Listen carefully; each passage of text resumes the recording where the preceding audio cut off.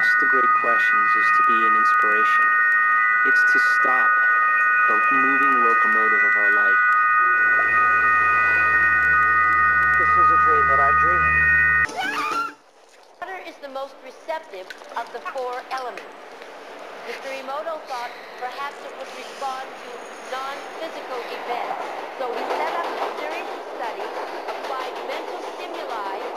photographed samples into a refrigerator that is set at minus And 5 this degrees Celsius. is the same water after receiving a blessing from a Zen Buddhist monk.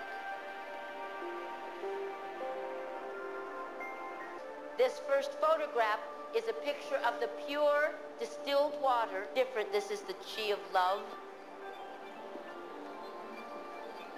And we move along here to thank you. Science of how that actually affects the molecules is unknown, except to the water molecules, of course. And it's really fascinating